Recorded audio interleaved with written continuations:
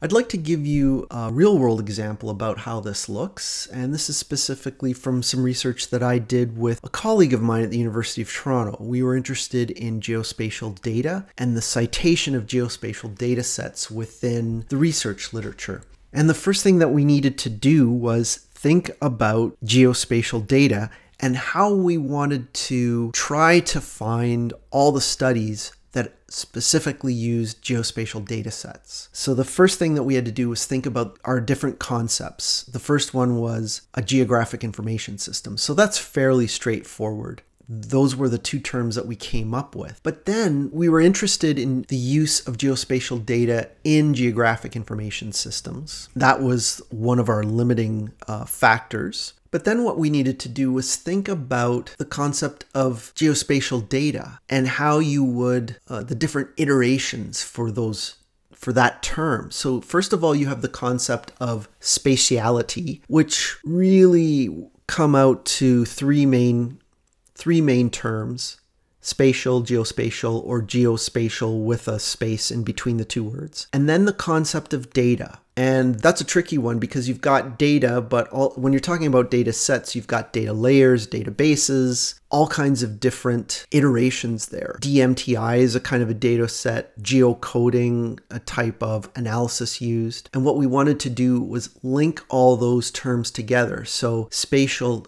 data, spatial data layer, spatial database or geospatial data or geospatial data layer or geospatial database. So you can see how you can link all these concepts together to get multiple iterations. I'll show you how to do that in a, in a further video, but I just wanted to say this is how this kind of concept can work out in real life and it actually came out to look something like this. Now this was a little bit, that, that was one of the searches that we entered in one database. So with respect to creating a search strategy. The purpose of creating a search strategy is first of all to systematically search specific topics using specific databases.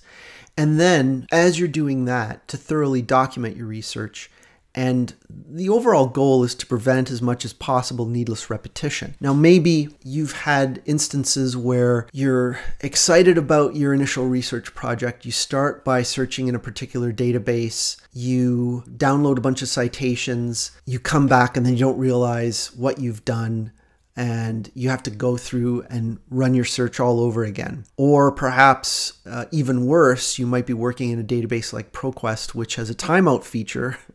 And if you haven't logged in, you maybe go away, to get a cup of coffee, and come back and realize that your search is timed out and you've lost all your results. So it's a good idea to sit down, create a search strategy, document it, and then at least you've got it for when you go back uh, if one of these things should happen. Or maybe if you do want to take a break and you want to come back later, you can say, okay, I know that I've gone into Web of Science and I've run the following searches. Now I need uh, to go back to Web of Science and run. Uh, you know, searches. I've done one, two, and three, and now I need to run searches four, five, and six. So when it comes to the steps that you take, first of all, you can take your research thesaurus and use that to create search strings. We've already kind of touched on how you might do that already. Then you might determine what databases or individual journals you want to run your search in. And you can experiment. You don't have to just do one thing in one database or limit yourself. And I encourage you not to do that. But sometimes I think people maybe they get uh, confused or think that they're going to break the database. You, you won't feel free to experiment and try out different things. You may even want to run a few series of experimental search strings before you get into your main search. That's probably not a bad idea. And then save your results because some of the things that I've mentioned already, you may find that you, if you don't save your results, you'll lose them. And you don't have to save a long list of PDF documents either. You can save the searches that you run or the results that you get in individual databases. And I'll show you as well how you can do that.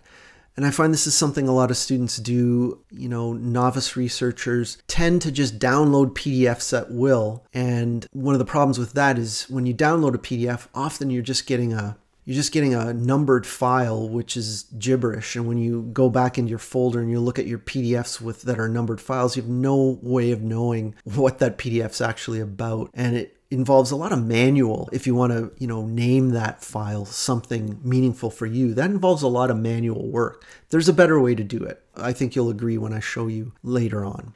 So um, moving on i wanted to show you another real world example.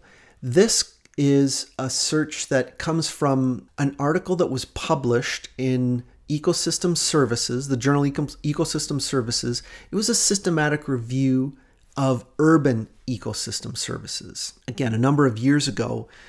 But when you're doing a systematic review, you actually have to document the sources that you use. You have to document your search strategy. And one of the reasons for that is so that your readers know exactly what you've done and they might even go back and replicate your results if they're doing something similar. That is one of the goals of a true system uh, a true systematic review is to allow for replication of the review later on down the road. So their search that they come that they came up with i've just copied their search string.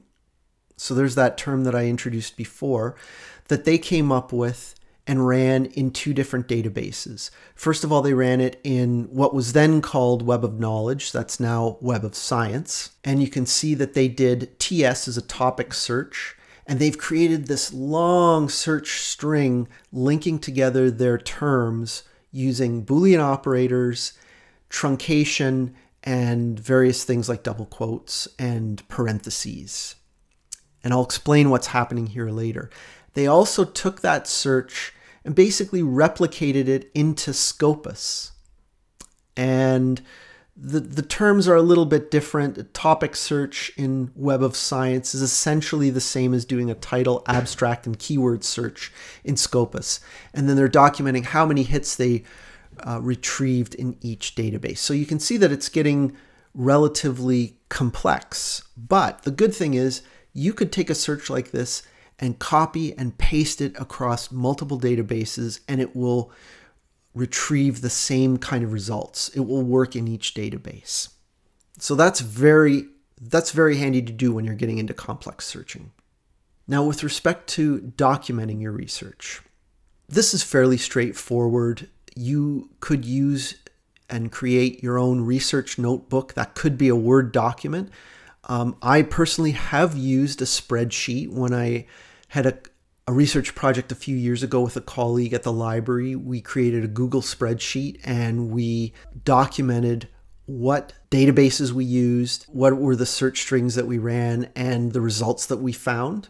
Some people find that that's helpful, and you could note down the date that you did your search, the exact search that you performed, and the database that you used, and then you could save your search or your results in the actual database, like ProQuest, like Web of Science, like GeoBase or Scopus. They all allow you to do that. Or you could save your citations into a reference manager like Zotero. I'll talk about that in a future video. So thank you for watching. This is the end of part two, and please proceed on to part three.